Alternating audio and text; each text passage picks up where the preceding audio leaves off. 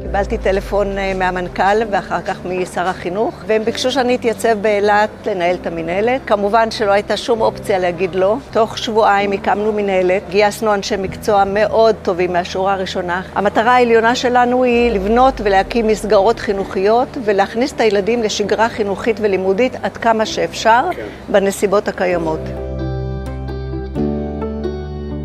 תחילה הקמנו מערכות חינוך בתוך בתי המלון, על ידי מתנדבים, על ידי אנשי חינוך. במקביל יצאנו לאתר במרחבים של ים המלח, של אילת וברשויות הקולטות, בערבה, בחבל אילות, במצפה רמון, בכל הרשויות. חיפשנו הזדמנויות של פתיחת מסגרת חינוכית קולטת לאלפי התלמידים שלנו שעזבו את ביתם והם נמצאים אצלנו לתקופה בלתי ידועה. וכשהבנו שיש פה הרבה ילדים שלנו, זה כבר הגיע לכמות של כמעט 70 ילדים, אז החלטנו לפתוח גם פה מסגרת. בהתחלה זה היה להם מוזר, אבל לאט לאט הם מתגמשים ככיתה. המאחלת בעיקר שנחזור מהר מאוד לשגרה ולמקומות שלנו ולבית שלנו ולבית ספר האהוב שלנו.